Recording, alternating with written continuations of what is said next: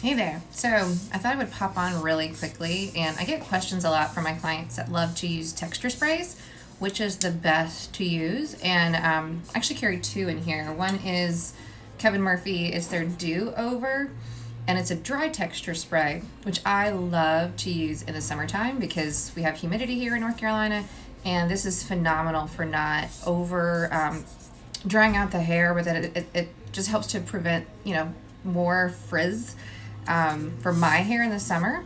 But come winter, this is what I love.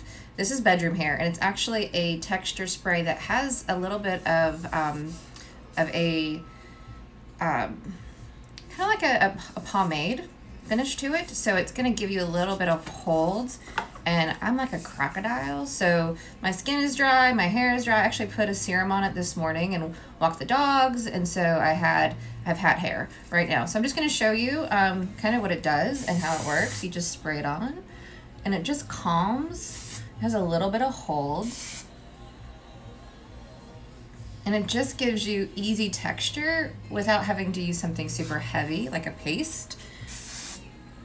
But it's going to give it some moisture as well.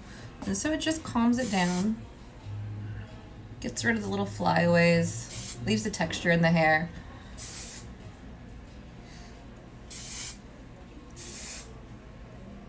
This is one of those products that you don't need to use a lot of. It will, it is a hairspray and texture spray together.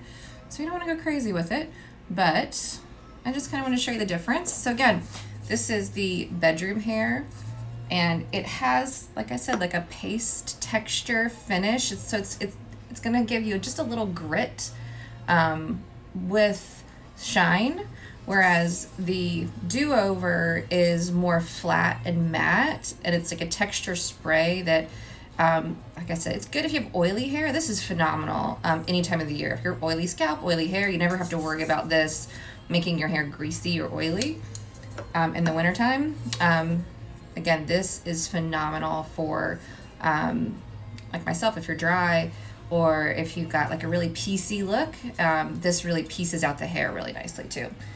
All right, well, you guys have a wonderful day.